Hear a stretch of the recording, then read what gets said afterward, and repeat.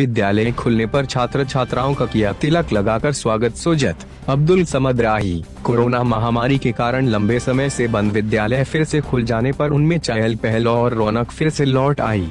सरकारी व निजी स्कूलों के खुलने से जहाँ एक और विद्यार्थियों में खुशी का माहौल है। विजय आदर्श विद्या मंदिर माध्यमिक विद्यालय में अतिथि समाज सेवी पार्षद योगेश कुमार जोशी उर्फ़ लकी व संस्था संरक्षक पूर्व खेल अधिकारी। सत्तू सिंह भाटी ने छात्र छात्राओं का तिलक लगाकर स्वागत किया। बच्चों ने गुरुजनों के चरण स्पर्श कर आशीर्वाद प्राप्त किया। विद्यार्थियों और विद्यालय के गुरुजनों के चेहरों पर खुशी नज़र आई।